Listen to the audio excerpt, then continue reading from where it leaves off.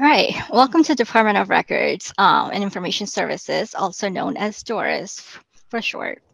Um, we're happy to have you here so we can learn about the different types of records that the agency has made available to the public and how you can all access them. Before we get started, let me introduce myself. My name is Ridhdhi Patel. I am the QA analyst for the IT department, and I'm also the open data coordinator for the agency. We have Julia Robbins with us. She is the Deputy Librarian for the Municipal Library. And we also have Sylvia Kollar, who is the Director of Municipal Archives. Um, a little background about DORIS. So the agency was established in 1977 with two main goals. The first is to preserve the historical and contemporary records and information by and about the New York City government. And the second goal is to make this information available to the public, both online and in person. Um, since we are Department of Records, I thought it was interesting to put the picture up on the right, which actually shows us from the local law when the agency was created. Um, there are three main municipal divisions within the DORIS. The first one is the Municipal of Archives, which preserves and makes available the historical records of New York City government. The archive holds over 200,000 cubic feet and over 300 terabyte of records dating from the early 17th century to the present. Acquired from more than 100 city agencies, the collection comprises of one, office records, manuscript materials, stills, and moving, object, moving images, ledger volumes, vital records, maps, blueprints, objects, and sound recordings and digital files. That's a lot. um, the municipal library is mandated by the New York City Charter as the official repository for the New York City agency publications with access through the print collections and electronic government documentation portal, the lib- library provides a unique set of resources on the history of New York City. And la- oops, sorry. Mm. Okay. And lastly, we have the Municipal Records and Management Division, which has two primary functions. One is to develop and set citywide policies for records and information management while monitoring its compliance. And the second is to operate the storage facilities for the New York City agencies. Um, the first let's start with the historical vital records. Um, so the municipal library, municipal archives, I'm sorry, has undertaken a mass digitization project to provide online access to 13.3 million historical birth, death, and marriage records. So currently we have about 10.1 million digitized records available to the public from the site.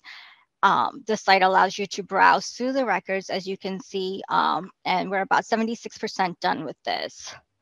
Um, so when we say the birth certificates, they are digitized from 1855 to 1909. And here's a little chart that gives you a little bit of detail for the digitized certificates per borough. We also have a similar chart for the death certificates. As you can see, there's a um, few in Manhattan that are still being, that are not yet digitized and will be done soon. Um, for the marriage record, just a little note. So up to 1907, the New York City Health Department issued marriage certificates, but beginning 1908, due to New York's state law, couples planning to get married were starting to get marriage licenses from the city clerk. The city clerk marriage licenses typically includes an affidavit filled out by the couple, the license is issued by the clerk, and the certificate is completed by the person performing the ceremony.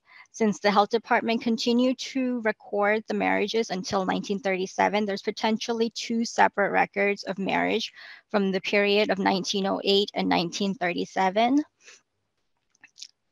The recorded information is duplicative. However, the city clerk license includes additional information about the couple's parents and occupation. So we have divided up the marriage records into marriage certificates um, in the chart similar to before, where you can clearly see that the marriage certificates, we ended in 1937. And similarly, marriage licenses, they started in 1908, and there's quite a few that still need to be digitized. Um, so here's the actual uh, record, digitized record. Um, so when you go to the site, you're able to search the historical vital records for by the search of the last name or certificate number if you have it. Um, if you don't, you can browse through the year and the boroughs and find the record that you're looking for. Uh, once you find the certificate, you can either purchase a copy with a raised seal or a letter of exemplifications or no amendment correction letters, or you can just simply just print or download the certificate at home. Um, because this is open data uh, week, um, we have to make sure that this we show that our data for vital records is also available on open data. Um, here you can easily see the tabular view of all the birth certificates, the first name, last name um, we have, so you can filter through the system very easily. Uh, we have Soundex also on open data, uh, which you can filter through in case there's any spelling differences in the names. Um, there's also differentiation between marriage certificate and licenses. And typically you can use the open data to do your own research as to how many births per year, per borough, for a specific year, if you are interested in such data. Um, next, we have the Municipal Archives Collection Guides. Um, as pre mentioned previously, the Municipal Archives mission is to preserve the New York City government's historical records and allow public access to the material. The Municipal Archives collection site allows you to explore over our collection dating from 1645 to the present. And the vast collection includes documents, digital collections, still and moving images, ledgers, and docket books, blueprints and audiovisual materials. Um, I have provided the URL, but again, at the end of the presentation, I'll provide all the URLs again for you. Um, within the site, um, you can also search by the collection, the subject names, the record group, um, whatever category. And if you're not sure, you can just simply use the search functionality in the website. Um, here are the few pages that you will see uh, on the top left. You'll see all the collections that we have. You can sort them by either the collection name or the date uh, or by date range. Um, you also have view the subjects, which are broken down into categories, view by names, which are grouped alphabetically, or review record groups, which can be sorted by name as well. And of course, there's this main search functionality with advanced options to filter through.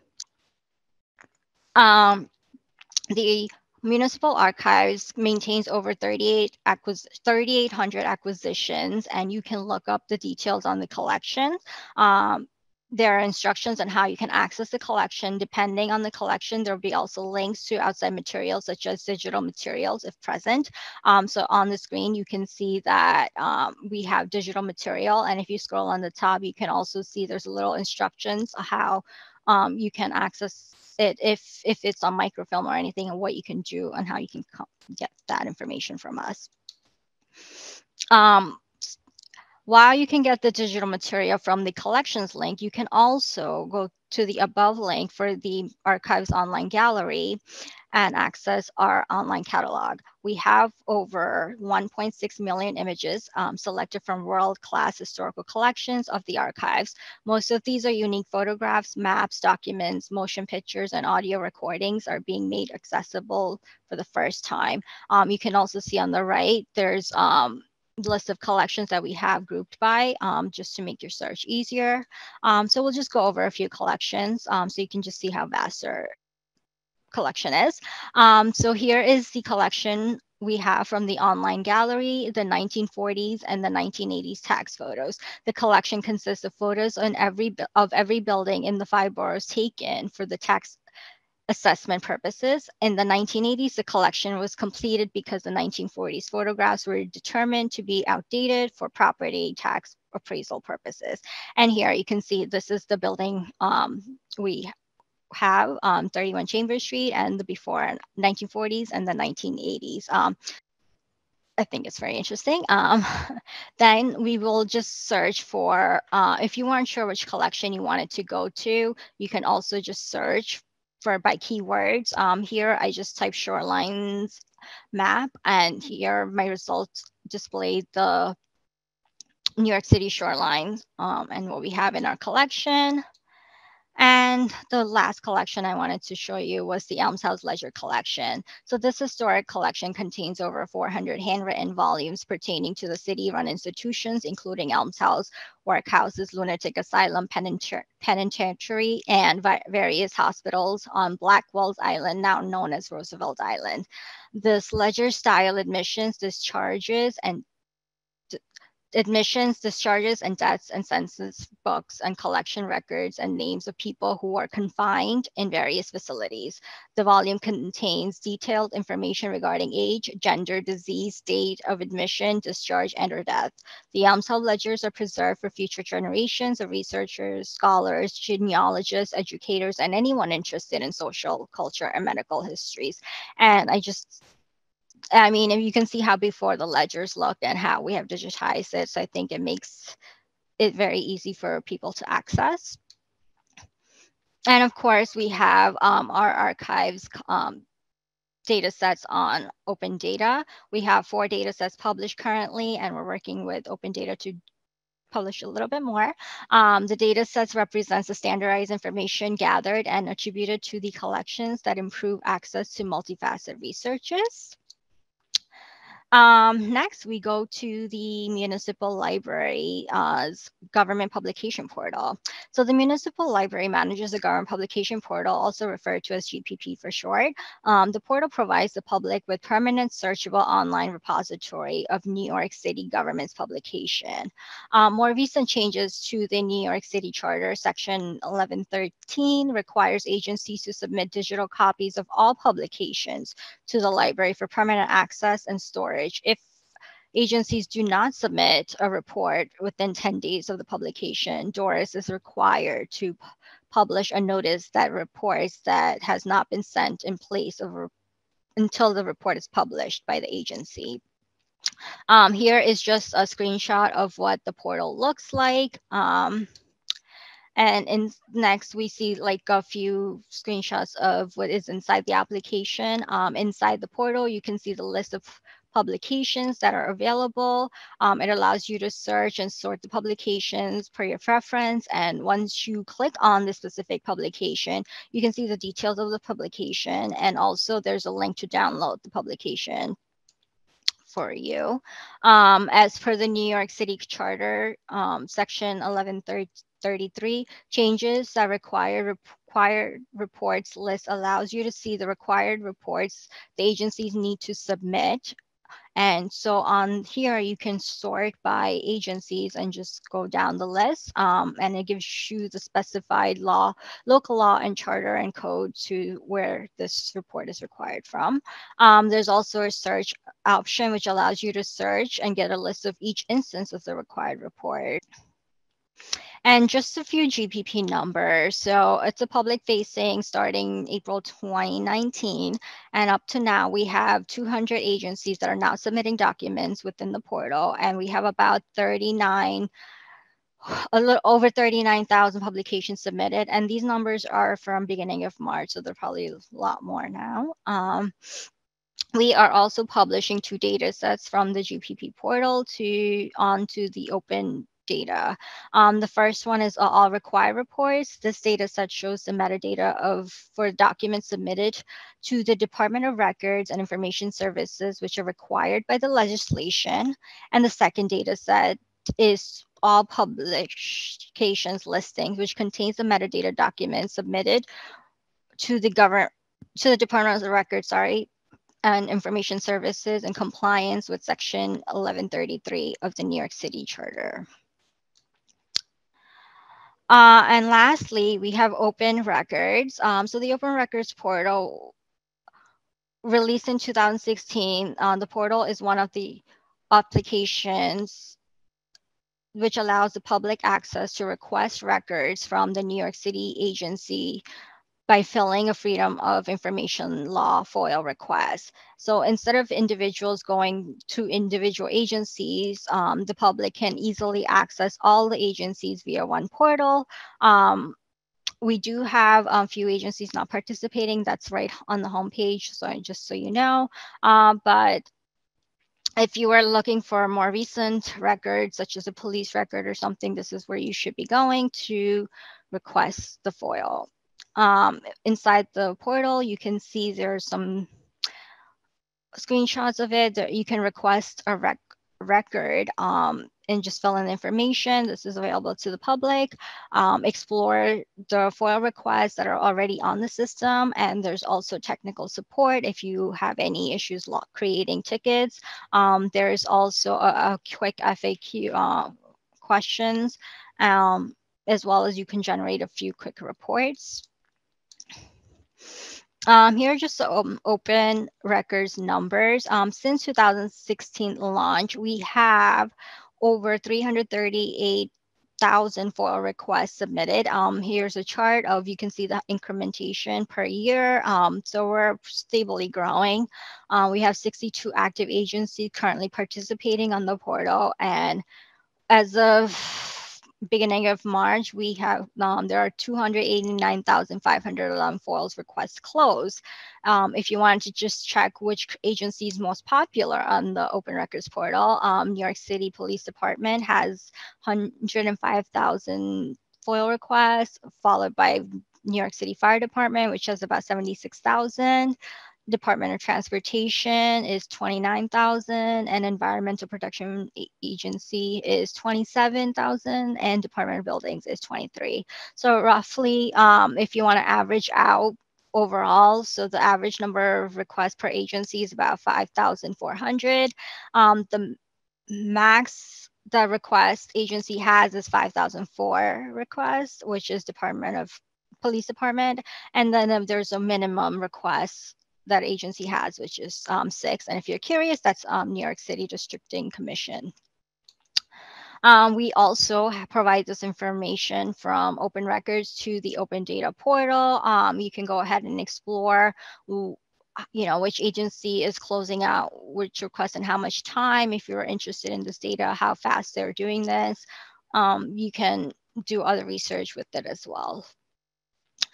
Um, the municipal library and municipal archives um, do provide public reading rooms, which are open Monday through Friday, 9 a.m. to 12 p.m. and 1 a.m. 1 p.m. to 4 p.m. for by appointment only. So you can contact us at researcherrecords.nyc.gov to make an appointment and to you can hopefully can come and visit us. Um, if you have other inquiries, um, we encourage you to go to the web the main website and there's a contact us page because um, depending on the type of specific request you have they go to different different emails so encourage you to do that. Um, um, that sums up the new york city records um, for doris uh, that are made available to the public. Uh, are there any questions or comments? I'm going to go off this presentation now. Um, is there anything on chat? Let me just see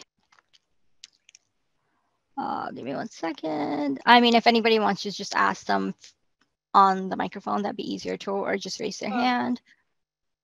Ridhdhi, there was a um, question about whether vital records are freely available, the birth, marriage, and death certificates, or whether they require a fee. And the answer, which you already gave, was that some certain things require a fee, but most of them are freely available. Right. So if you wanted to just print it or download it, it's free. It's available to you. But if you wanted uh, a seal on it or any type of amended letters or anything, then it's, there's a charge for it. Right. Does that include? And there was also, sorry, go ahead. Does that include up to the present day or is that historical on the Just historical, records? historical. And current records are not available? They're not available through us. They're available through the Department of Health and Mental Hygiene or through the city clerk's office. Do you have to have a, a connection to the person that uh, is involved, or can that be? Uh, for certain records, you do. Um, DOHMH's website makes it pretty clear. Okay, thank you. Sure. All right. Uh... So there's a question, uh, Rudy, who is the person whom news media should contact for photos to publish, like archival photos? Um, um, and I think the answer is, yeah, go ahead. I, I'm not actually sure if you know. I was going to well, say. Well, there's an order process online. There's an order process online, and for permissions, the best thing is to email research at records. Um, and they'll send you a form that you have to fill out um, right. for permission. Thank you, Julie. Uh, I was gonna put the links on the chat window as well in case people wanted all the links that we have on the presentation. I think I put, I put them. Oh, you did? Okay, great. Thank you. Yeah. Luna, Almshouse Ledger, Historical Vital Records, um, the GPP, I think I put the GPP in. Yeah, so there should be about uh, historical vital records, municipal archives, online gallery, government publication, online open records portal, and just the contact us link. And uh, there's a question from Kathleen about if she were to look up when uh, her building was built at around 1871, where would she go? So the answer is somewhat complicated, but um, we do have, it depends on where the building is for one thing, but for buildings in Manhattan below a certain um, latitude, we have uh, property cards uh, from and uh, block and lot folders from the Department of Buildings, and we also have a list of new building applications. Um, so best uh, idea is to email research at, and then you'll be directed to the most fruitful place to find those materials. I have a question about the government publications portal. I've been there before. Um, I'm just wondering, is there a way, it feels a little random to me, the organization, like in terms of what's uh, presented and, you know, like, is there a way of navigating that that is um, either topical or I don't know, even uh, chronological? Well, uh, you can always um, filter the request results by agency and date, and um, you can search by keywords. Oh, I see. I And see. you Under the can sort- agency. agency. Yeah, yeah, and you can and you can uh, sort it either by relevance or by date. So you can either do it from oldest to newest or newest to oldest. So there are uh, uh, quite a few different ways you can slice and dice uh, your searches, but it's um, you know it's fairly shaggy. There are a lot of things in there. So if you ever need any help with it, by all means reach out to us either at research ad or um, yeah Okay. Thank you. happy to help. Sure.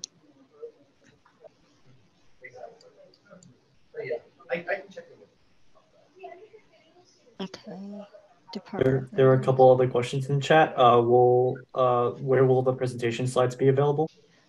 Um, I can provide them to you. Z will can open data. Yeah, I, yeah, and I can, I can send it out, uh, to, to folks who registered for this event. Also, this event is currently being recorded, so I can, uh, well, we'll post this on YouTube, uh, shortly.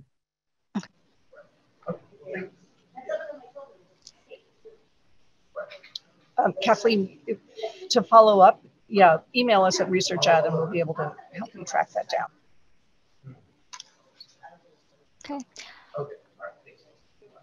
Well, is there any uh, collection that anybody find interesting? Um, I know I personally like the photo collection of the 1940s and the 80s because I like to compare. And even if you looked at the 31 Chambers pictures, you can see one of the buildings is gone within the 40-year time frame. So Do you have any kind of newsletter or anything that you um, send out when you add new things to the um, collections? um, Sylvia, do you know if we add to this? We don't have a newsletter. We, that we have a newsletter. Go ahead, Sylvia. Sorry. Go for it, Julie. You, you, you do it. I'm trying to find the Um, link so I can send them a link. So we don't have a newsletter that we send out to an email group beyond the um, municipal libraries newsletter. You can sign up to get um, the municipal library newsletter, which does include, um, you know, news from across the agency actually. Um, so it doesn't necessarily always reflect new collections that we've published. Um, we do um, kind of promote things through things like social media, um, but a formal newsletter, no. There's, there's also the historical blog. Sylvia, will you tell them about that? I'll try to put a link in the chat. Sure. Um, we have a site that features some of our collections and exhibitions and digital galleries as well. It's archives.nyc. And on that site, there are um, a bit, it's a bit more curated um, content about our collections, and it does also include a blog that we um, publish every week, every Friday, um, and and that is done by staff throughout the agency as well. You can connect with Julie on the municipal library newsletter. Julie, I don't know if you know how to. Yep. I'm trying to find the link. Sorry, uh, website is. Um, no, Julie, uh, Julie Kathleen asked if how we can subscribe to the newsletter. I know I'm working on finding Oh, that out. I'll put a I'll put a link in the chat as soon as I find it. Um, I'm having a hard time. Um, if you're not speaking, can would people mind muting? Uh, There's Oh, it's probably me. There's background Oh. noise. Let me mute. oh, I see. Okay, sorry, Julie. No, it's. Okay, here's the link for the municipal library Okay. Does anybody have any other questions? Uh, is the office open for visitors? If you make an appointment. Um, w- we actually, I mean, we also have, um, I mean, you can walk in, but it is best to make an appointment because we can prepare things for you. Um, we do have things um, in offsite locations. So if you're doing research, it's better to talk to an archivist or a librarian about what you'd like to research so that we can prepare as many things for you as possible. Um, it's just easier. yeah. Um, the so, so there are two reading and reference rooms um, at our main location at 31 Chambers Street. Um, the one really caters to genealogical research and um, walk-ins into that room are much easier to facilitate because all of our collections that are not digitized and on the historical vital records app are on microfilm in that room. So that is much easier to walk into and ask for vitals. Um, and we definitely encourage that.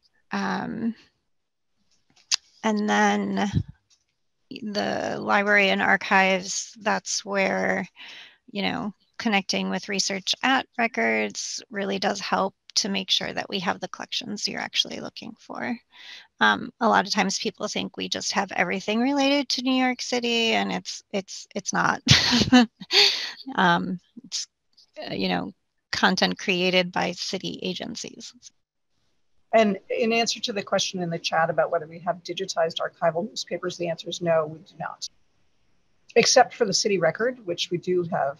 That's the New York City's official um, newspaper and publication point, but um, otherwise we do not. NYPL has an amazing collection that you can access and the, all the public library BPL in Queens as well. Thank you everyone for joining the session.